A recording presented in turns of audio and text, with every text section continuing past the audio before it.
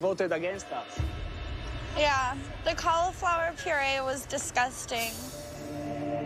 Excuse me? You. Disgusting is harsh. That is disrespectful to talk about food saying that it's disgusting. You don't call food disgusting, period. You're in a competition, you never call food disgusting. That's a terrible word to use. It didn't taste good. You know what? There were people that were in I'm charge of it. You don't say that to someone. I didn't say anything about what happened with your meal. Because I don't that. But I will now.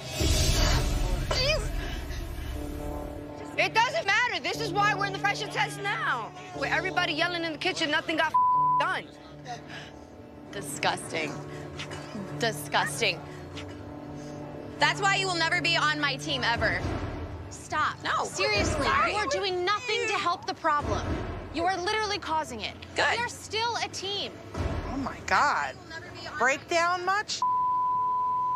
My second pressure test. You don't see me falling to pieces.